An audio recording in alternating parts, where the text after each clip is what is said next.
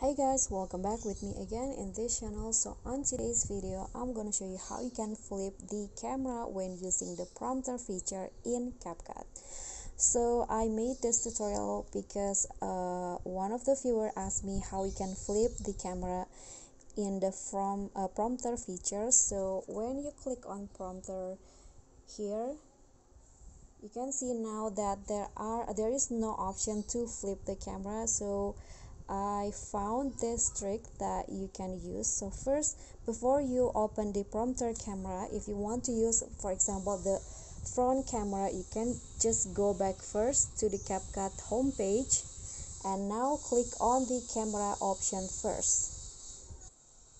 So click on the camera and here you can see the camera is also shown the uh, using the uh, back camera. You can just click on this flip options like this so that it will change into a front camera.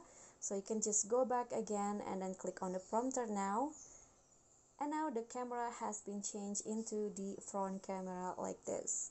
So that's the trick. You need to adjust the camera first in uh, the camera feature on CapCut and later open the prompter feature okay so that's all from me. Thank you so much for watching. Please don't forget to subscribe like this video click on the thanks and comment if you have any question. Bye